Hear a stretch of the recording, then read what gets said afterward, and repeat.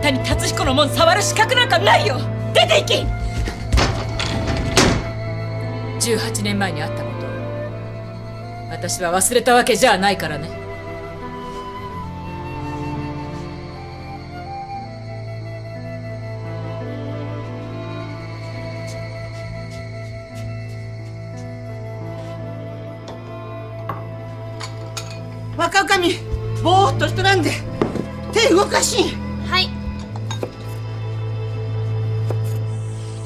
お上修行？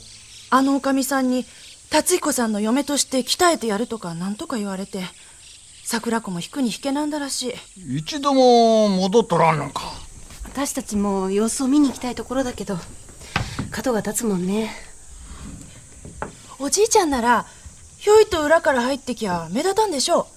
あのおかみさん桜子を目の敵にしとったようなとこがあるからちょっと心配で。俺にね渡してほしいものもあるのよ。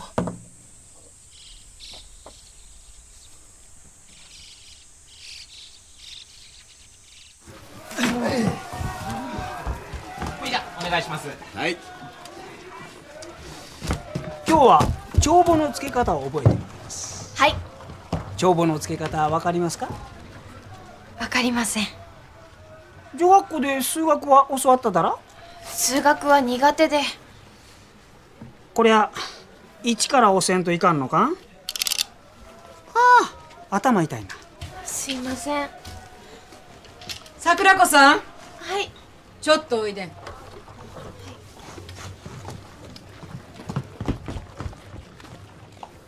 桜子さんこれは何？あんた誰か男衆に手伝ってもらっただらこんなに早くできるわけないわね誰にやってもらっただん？言いなさい。俺です。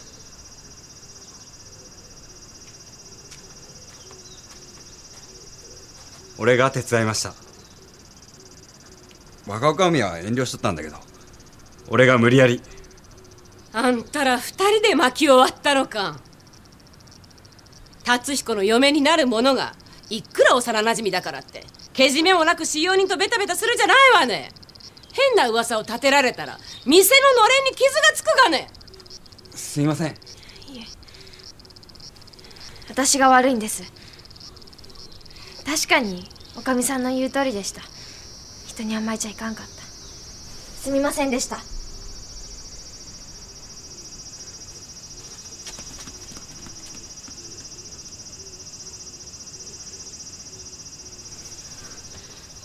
清さんって若女将とずいぶん仲がいいね。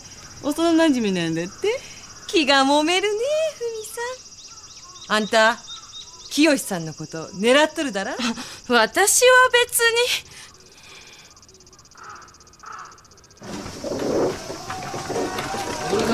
ご苦労さんです。徳さん。あれたまにはチート一杯やりたいだなと思ってな差し入れだ。おい。恐れ入ります。桜子さんが心配でござったですか？めっそうもない。おおかみさんにお預けしただで。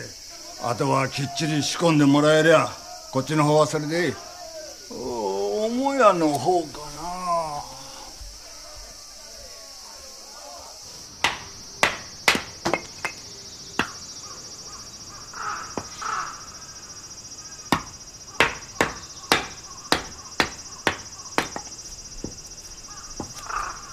おい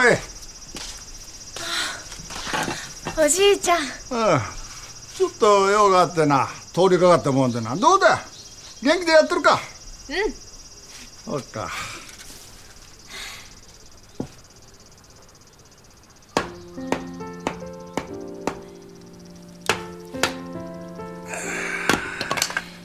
お上の修行っちゅうのは自分の方から言い出したことなんだでな。最後までやり遂げんといかんぞ分かっとる。普通ならお前は当然この店に入ってどんなにきつでも坊ちゃんが帰ってくるまで店を守らねばならんとこだったんだ。それを嫁にせんかったのはおかみさんの温情なんだでな。少しぐらいきつうても辛抱せえ。分かった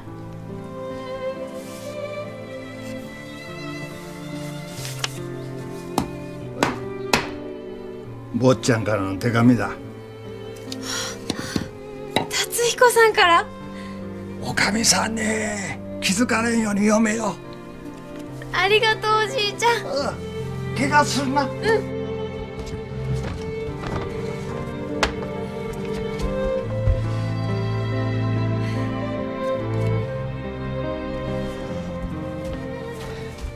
誰からの手紙だ？達彦さんからですおうほうか。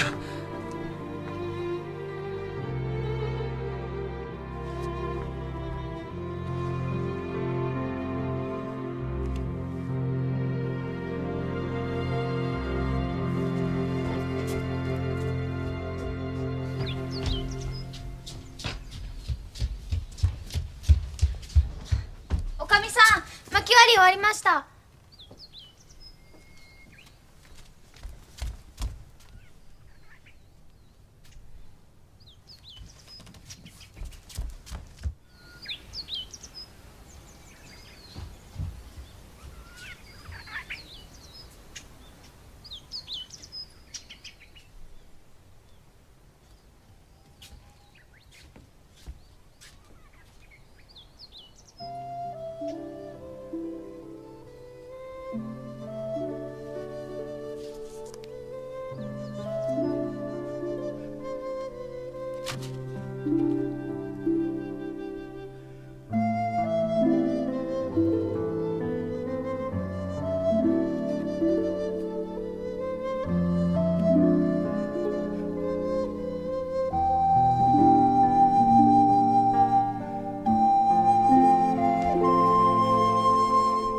に入らんで。勝手にうちのものに触らんでちょうだい。すいません。ピアノ触っとってつい。達彦のピアノには触らんで。大体あんたはうちに修行に来とる身なんだよ。ピアノになんか触ってどうするだね。達彦さんは私に音楽の勉強を続けるようにって言ってくれましたここでの修行は私が自分からやると決めたことだで。どんなにきつくても弱音は吐きません。ほいでもたまにはピアノも弾かしてください。達彦さんからの手紙にもそういうことを書いてなかったですか？そんなことあるわけないわね。達彦から私に来た手紙のことにまで口出さんでちょうだい。出て行き。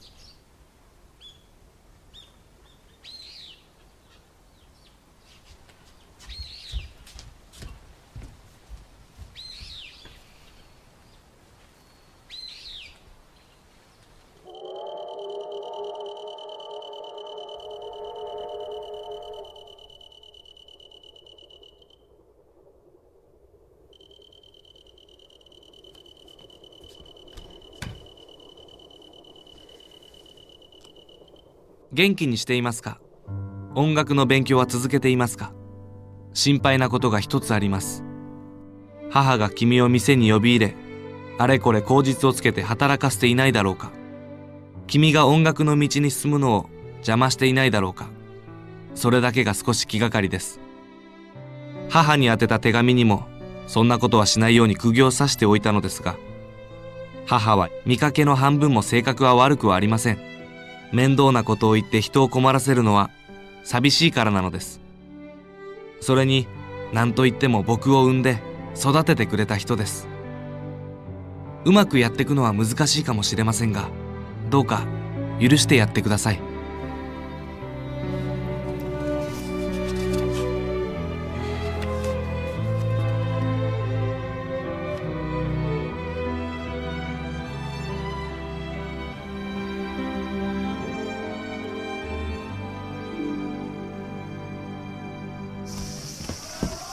毎度ありがとうございました。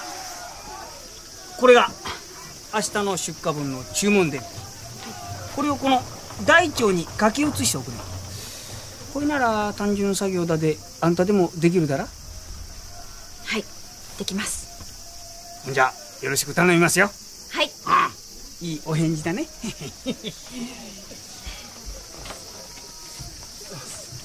清 さん暑いのに大変だね。どうってことないわ。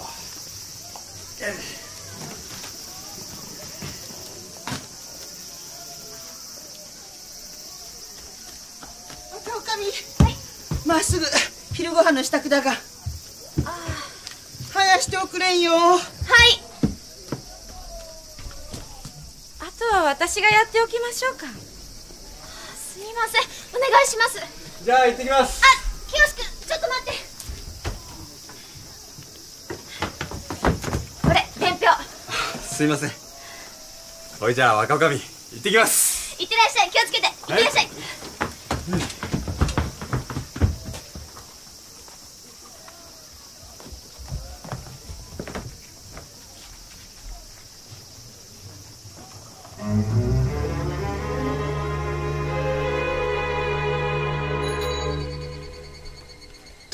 橋の三河屋さんに10タル？なんでこんな間違いが起きたの？申し訳ありません。向こうさんには早急に謝って品物を取りに行きました。なんとか事態は収集しましたでご勘弁ください。一体なんでこんなことになったの？私が悪いんです。伝票の写し間違いですわ。私が若女将に頼みまして後でよう確認せなんだのが間違いのもとでしたあんたって人は何をやらせても使えんわね。1と10じゃ桁が違うわね桁が。すみません。注意して何遍も確認したんですがなんでこんなことになったのかな。あ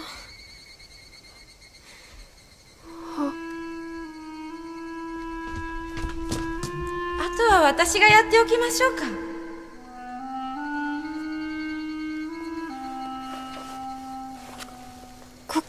いたのはふみさんです。おふみが？こん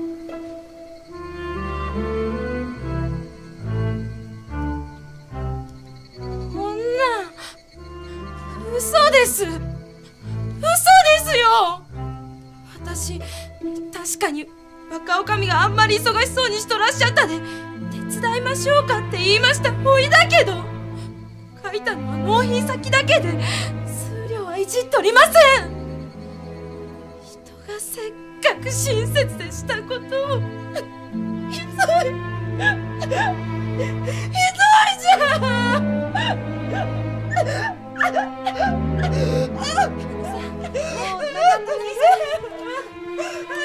この一件で桜子は微妙な立場に立たされたようです。